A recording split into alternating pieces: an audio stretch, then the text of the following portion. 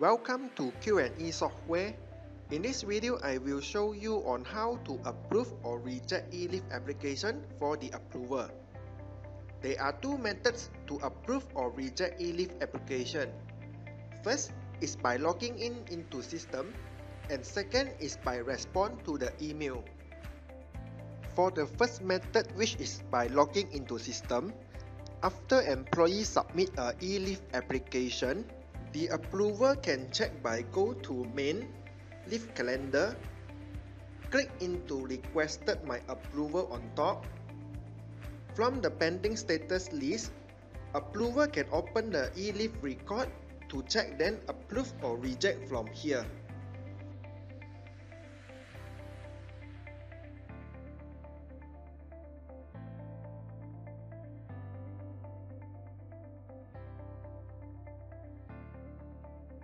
For the second method, which is by respond to the email, after employee submit a e-leave application, the approver will receive an email from QNE.